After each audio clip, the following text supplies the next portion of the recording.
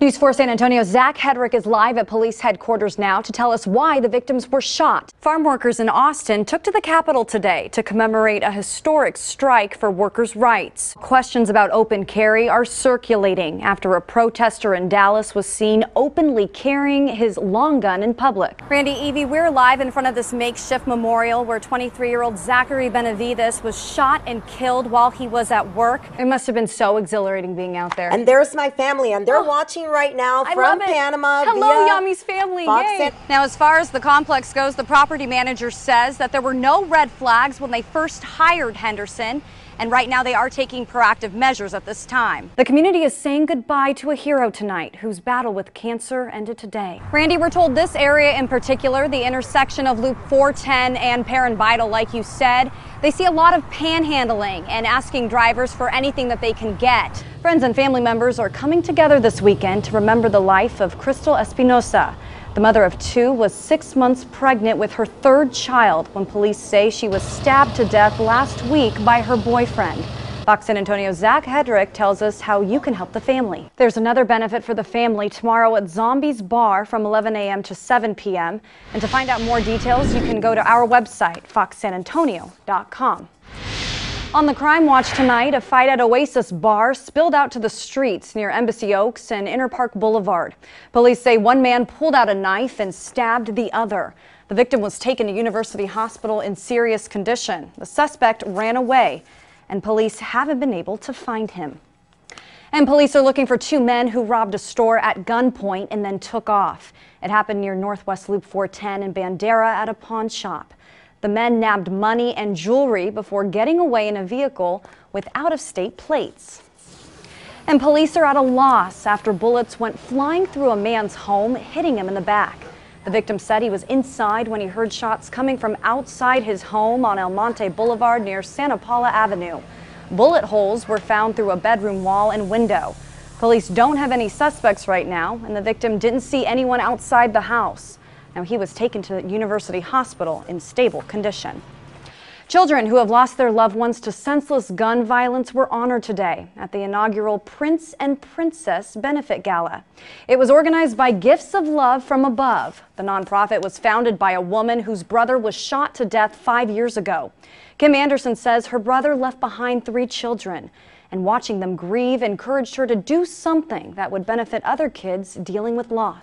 Delane, horrific doesn't even begin to describe this type of story. You don't even need to be a parent to really feel that anger, that emotion from this situation. Now, just into our newsroom moments ago, we learned from CPS that the little girl has in fact a fractured wrist, bruises covering her entire body. And right now where we're standing, we're right behind the area where the abuse took place.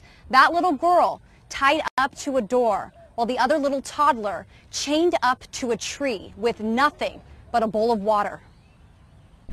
If you don't feel something from this story, I mean, I'm getting goosebumps right now just thinking about it. A three-year-old girl screaming for help while tied up to a door. This is a sick, disturbing, horrific crime. And a two-year-old boy chained outside to the ground.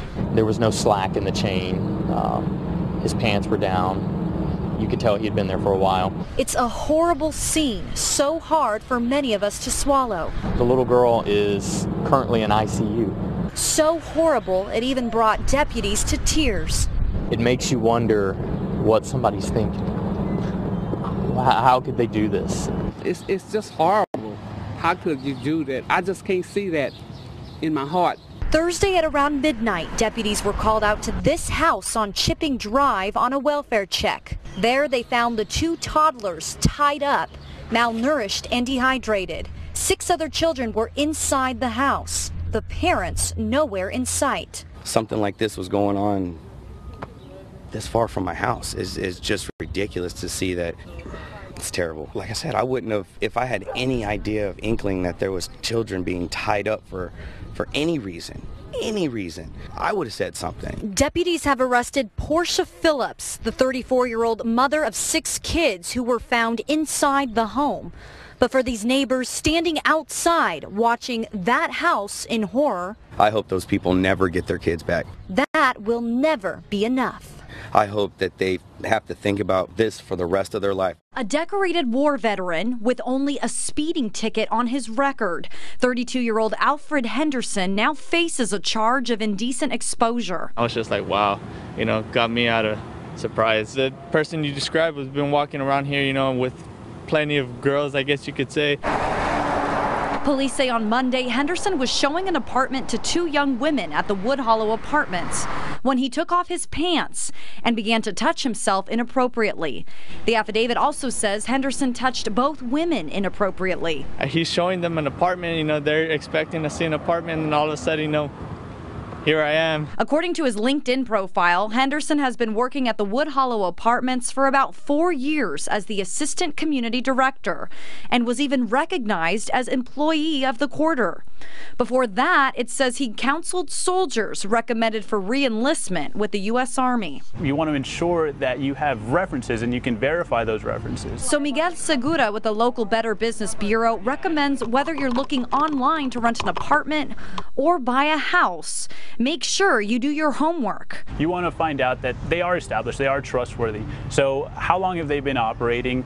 Uh, are they familiar with the area that you want to move in, especially if you're coming in from out of town? These are important questions uh, as, a, as a potential resident. Not to mention visiting the BBB's website for customer complaints so you, as a consumer, know exactly what you could be getting yourself into.